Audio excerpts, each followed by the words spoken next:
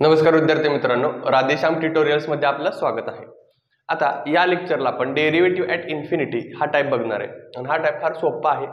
याच्यामध्ये तुम्हाला ज्या स्टेप्स आहेत त्या समजून घ्यायच्यात. हळूहळू तर आता बघूयात आपण काय टाईप आहे. तर इफ वाय इक्वल टू आता इथं एक लक्ष द्यायची काय गोष्ट आहे की under root cos x plus under root cos x plus under root cos x up to कुठपर्यंत आहे? इन्फिनिटीपर्यंत आहे. ठीक आहे? मग आता याच प्रकारे आतमधलं फंक्शन जे आहे जसं की ते कॉस एक्स दिलंय तसं बाकीच्या वेळेस पण तुम्हाला फंक्शन बदलून दिलं जाऊ शकतं. जरी फंक्शन बदललं तरी हे जर एक्झाम्पल तुमच्या लक्षात आलं तर त्याच प्रकारे बाकीचे सगळे एक्झाम्पल या टाईपचे तुम्ही सोडवू शकता. मग आता हे पहिल्यांदा एक्झाम्पल समजून घेऊयात आपण. मग काय याच्यामध्ये बघा वाय इक्वल टू हा सगळा पार्ट दिलेला आहे. बरोबर आहे का? मग मी हे लिहिताना कसं लिहितोय बघा? वाय आता मी पहिल्यांदा काय करणार आहे? स्क्वेअर करणार आहे पहिल्या स्टेपला या टाईपमध्ये मग वाय स्क्वेअर करूयात. म्हणजे पहिलं रूट कॅन्सल होणार फक्त. कॉस एक्स प्लस बाकीचं तसंच राहणार आहे. Root cos x plus root cos x plus dot dot dot infinity correct आहे? पहिली स्टेप काय? स्क्वेअर करायचा. पहिलं रूट कॅन्सल करायचं. ठीक आहे? त्यानंतर पुढं हा जर तुम्ही पार्ट बघितला तर जर आपण ह्याला इक्वेशन नंबर वन दिलं क्वेश्चनलाच तर तोच पार्ट रिपीट होतोय अप टू इन्फिनिटी पर्यंत. याचाच अर्थ जर हाच पार्ट जर रिपीट होत असेल अप टू इन्फिनिटी पर्यंत तर त्याला आपण वाय म्हणू शकतो. डेफिनेटली वाय म्हणू शकतो. म्हणजे इथं काय येणार बघा? Y square equal to cos x plus y येणार आहे. करेक्ट आहे?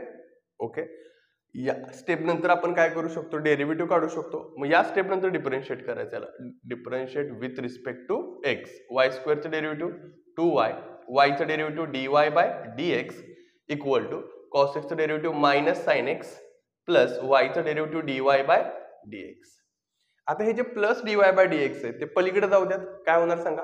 Minus d y by d x म्हणजे हे असं येणार आहे की two y d y by d x minus d y by d x equal to minus sine x correct okay याच्यातून काय कॉमन निघतंय? D y by d x common निघतंय. आज शिल्लक राहिलं टू वाय मायनस वन इथं आलं d y by d x equal to इथं आलं मायनस साइन एक्स लक्षात आलं? आता टू वाय मायनस वन मल्टिप्लिकेशनमध्ये आहे ते इकडे आल्यानंतर जाणार डिव्हिजनला म्हणजे या ठिकाणी येणार आहे d y by d x equal to minus sine x upon two y minus one माझ्या मते इथं टू वाय मायनस वन असणं इम्पॉर्टंट आहे. ठीक आहे? म्हणजे इथं पण टू वाय मायनस वनच येणार आहे. क्लिअर इथपर्यंत?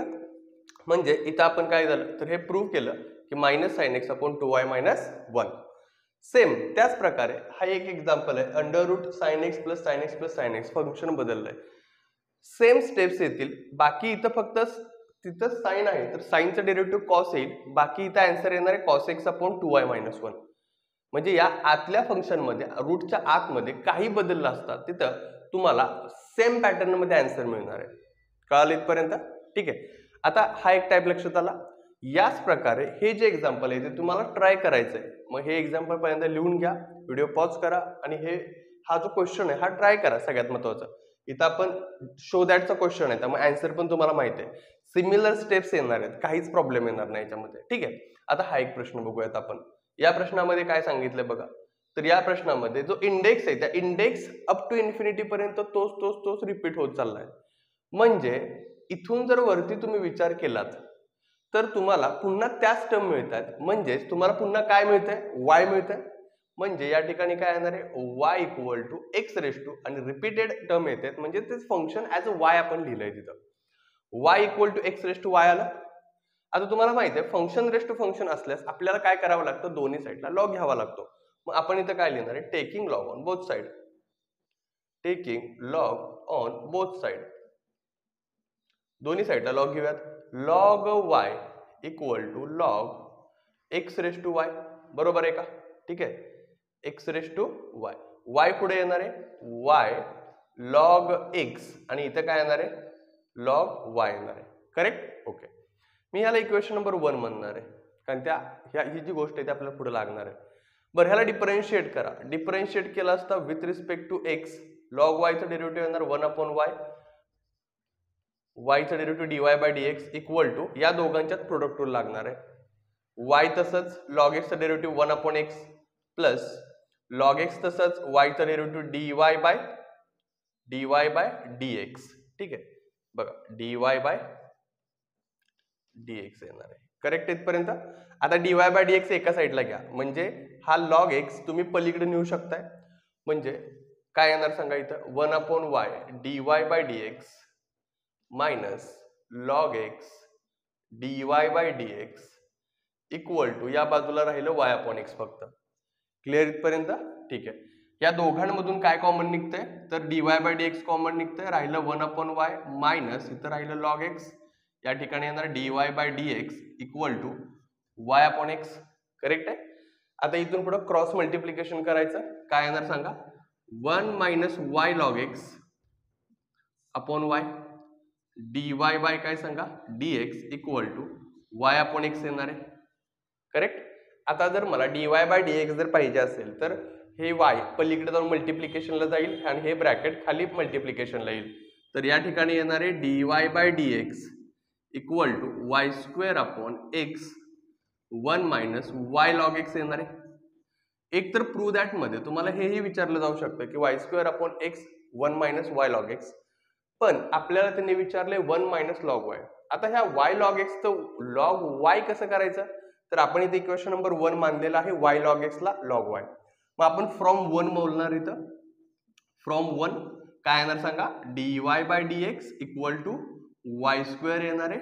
एक्स वन मायनस आणि वाय लॉग एक्सला आपण लॉग वाय पुट करू शकतो. मग आपण इथं पुट करूयात लॉग वाय ठीक आहे? आणि फायनली आपल्याला जे प्रूफ पाहिजे होतं ते मिळालेलं आहे की y square upon x one minus log y clear इथपर्यंत? ठीक आहे. आता ह्या टाईपमध्ये लक्षात घ्या. हा टाईप आणि हा टाईप या प्रकारचीच एक्झाम्पल आहेत की जी इन्फिनिटीचे येतात. टेक्स्टबुकमध्ये आपल्याला हे तीन एक्झाम्पल दिलेत. बरं. या टाईपमध्ये तुम्हाला कुठलंही फंक्शन देऊ द्यात अँसर फिक्स आहे. काय? खाली टू वाय मायनस वन येणार आहे. आणि इथं जे काय फंक्शन आहे त्याचं डेरिव्हेटिव्ह वरती येणार आहे. मग इथं बघा कॉस होतं मायनस साईन एक्स आलं. साईन होतं कॉस एक्स आलं. कळालं का? बरं. बोर्डच्या पॉईंट ऑफ व्ह्यूने विचार करायचा झाला तर तुम्हाला या स्टेप्स लक्षात ठेवणं गरजेचे आहेत त्याचबरोबर हे पण एक्झाम्पल रेस टू टर्मला अप टू इन्फिनिटी असेल तर कशा पद्धतीनं सोडवायचं आहे रिपीटेड टर्म्सला वाय कसं घ्यायचं ह्या गोष्टी तुमच्या लक्षात आल्या असतील तर तुम्हाला हा सगळा टाईप क्लिअर झाला असेल. ठीक आहे? ह्यात पण क्वेश्चनचा स्क्रीनशॉट काढून घ्या व्यवस्थित. आणि व्हिडिओ जर आपला आवडला असेल तर नक्की लाईक करा शेअर करा आणि आपल्या चॅनलला सबस्क्राईब करायला विसरू नका. धन्यवाद.